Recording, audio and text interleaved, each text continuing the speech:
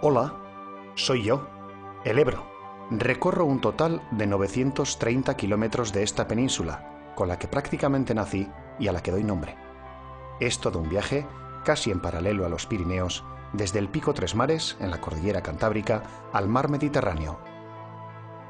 En ese camino, a izquierda y derecha, recibo las aguas de 342 ríos y de 105 acuíferos. Voy a hablaros de mí, pero en este caso de una pequeña parte de mí, del tramo en el que me adentro por completo en tierras navarras.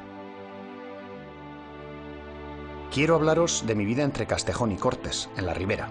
Quiero mostraros las plantas, los animales y a las personas con las que he compartido y comparto tierra, aire y experiencias diarias. Y os voy a hablar de Tocata, Patolea y de Félix el Rollo, de los barrancos con sus avenidas, del canal de Tauste y de la Casa de la Gamella.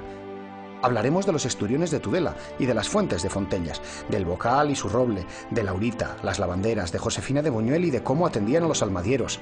Nos mojaremos con las madrillas, con los barbos y con las carpas, admiraremos un montón de aves y descubriremos mi mayor secreto, las almejas gigantes. Y visitaremos la Reserva Natural del Quebrado, el Ramillo y la Mejana. Recordaremos las meriendas, las pescatas de impresión con caña y con trasmayos, la caza de gansos, las codornices, estorninos.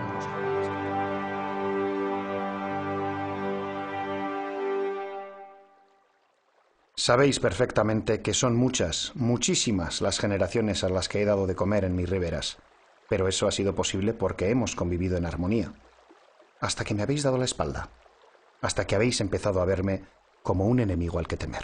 Eh, que soy yo, vuestro río, y vosotros mi gente, lo dicen muchas jotas, hijos e hijas del Ebro y el Moncayo.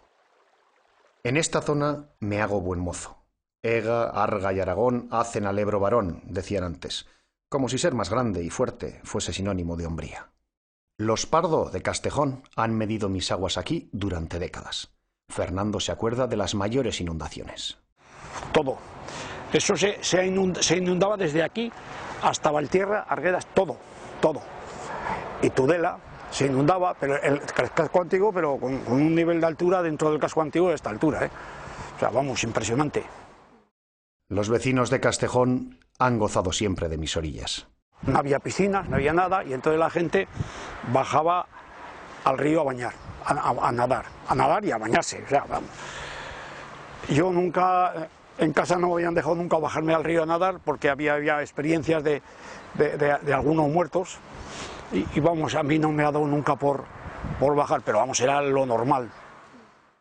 Los accidentes y el miedo a mis aguas han generado reacciones.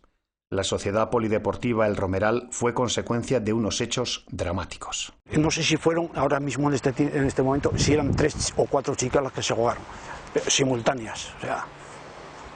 Y entonces pues hubo un, una cosa ciudadana y se decidió hacer una piscina de socios y poniendo dinero todo el mundo. O sea, fue una cosa muy, muy interesante. Durante siglos os he dado mucho más de lo que os he quitado. Quienes han vivido directamente de mis aguas lo saben bien. El catolo, José López, que ya murió, pescaba con su barca por toda esta zona. José Santa María no puede evitar una sonrisa al acordarse de él. A Catolo lo conocían todo el mundo entero por aquel alrededor, hombre.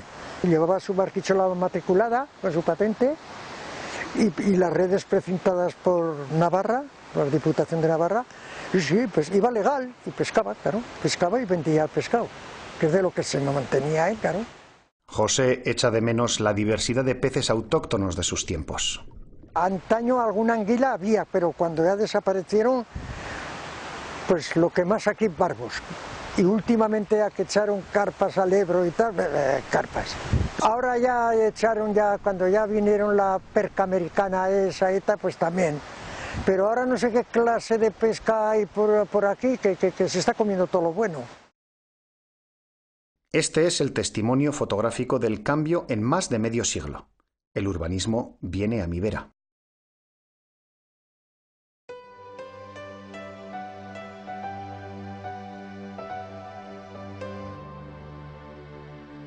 Son los sotos de Giraldelli y del Ramalete. La fauna y la flora que albergan también son parte de mí, son una muestra de lo que soy capaz de ofrecer.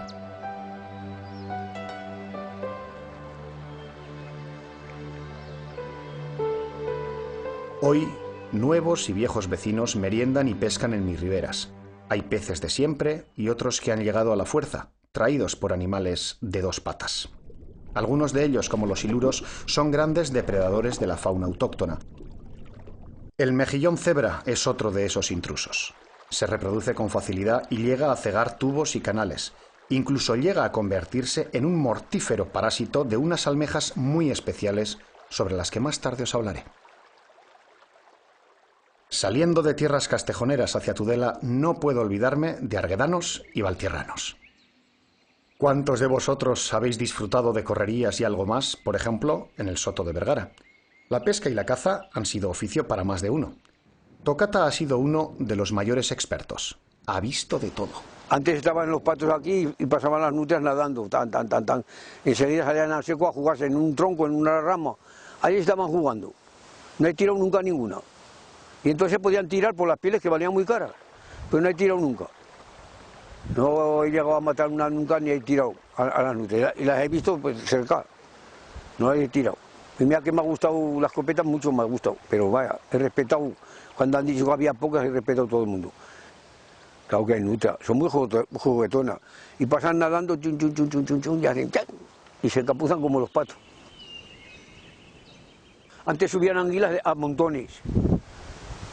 Y, me acuerdo yo que echabas unas cuerdas y sacabas en cada anzuelo una anguila. Ahora no hay ni una. ¿Sabes por qué no hay ni una?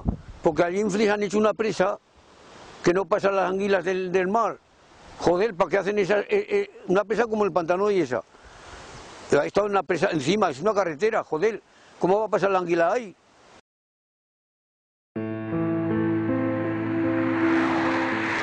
Todos los años aparecen atropellados en la recta de Arguedas bisones europeos, nutrias o zorros como este. Quizá recordéis que a mediados de los 80 del siglo pasado me hicieron aquí, en el Soto de Vergara, una tala de espanto. 75.000 árboles. La ganadería desapareció de la zona y se pusieron los arrozales. Hubo muchas protestas.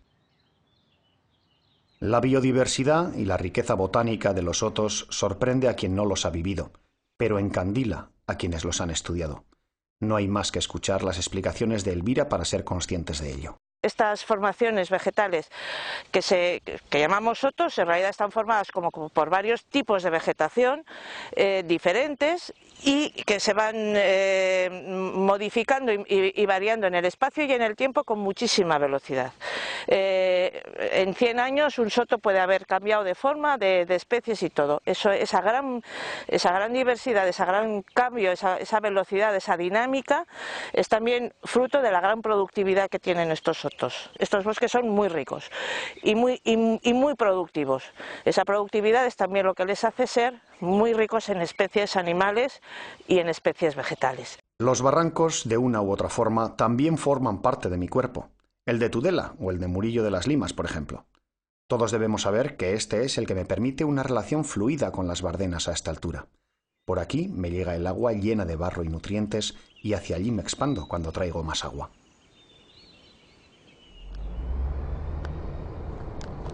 Andando sobre las aguas. Parece mentira, pero las tudelanas y los tudelanos son de esas personas capaces de caminar sobre las aguas sin hundirse. Aquí, en la misma plaza de los Fueros, sí. El río Keiles corre por debajo del cemento. Cualquier día de tormentas cabezonas sale por cualquier agujero. Estas imágenes, algunas con más de 50 años, recuerdan situaciones que pueden volver a ocurrir. Pasa lo mismo con el río Mediavilla, aunque como veis, cualquiera lo puede confundir con una cloaca.